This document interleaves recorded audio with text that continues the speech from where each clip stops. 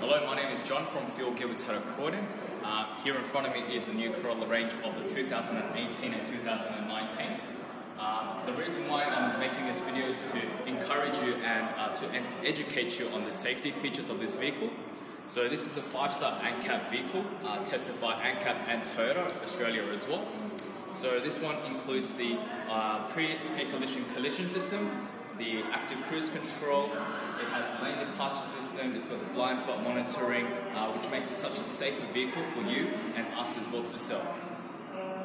So over here, um, we have an example of the ANCAP safety on the Corolla Ascent Sports.